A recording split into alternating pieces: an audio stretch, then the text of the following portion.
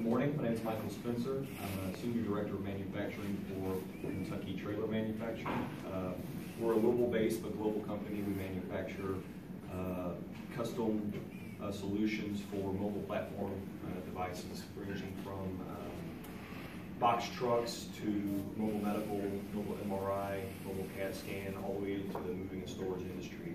Uh, I've been in Louisville, Kentucky since right at the turn of the century. It's debatable when it actually started. It went through a couple of uh, different ownerships. We built covered wagons, uh, branded this the Kentucky Wagon Company, and we even competed briefly with Ford, uh, building the Dixie Flyer uh, a number of years ago, in the early 20s. So our equipment, those, uh, you can see that equipment today at the uh, Corvette Museum. There's actually a, a, um, a multi-month display of the history of transportation in uh, Kentucky, and to have our, our assets based there.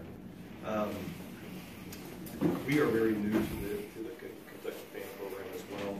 I actually um, was re- recruited in by Robbie and the folks that come and paid a visit to us. We're actually uh, next door neighbors to Republic Conduit, who's also part of the, uh, the organization.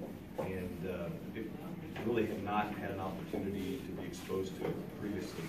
With uh, four and a half percent uh, unemployment, uh, and increasing uh, demands from our customer both on the complexity and technology that's going into our equipment, the need to modernize our facilities, um, the, the existing workforce and, and and market for employees was challenging us to accelerate and, and uh, to hire at the rate that's required. So uh, took a similar approach um, as, as our as our colleagues here and uh, decided to kind of go organically. So we have been, we have three FAME students, they're all first year uh, students, and we are actually leveraging our own workforce with a lot of young people that have been using and exposing their experiences and their opportunities with our existing employees and trying to create covert programs internally to start funneling students in uh, through FAME, through our own uh, incumbent employee workforce. So uh, been very pleased, it's very organized, and uh,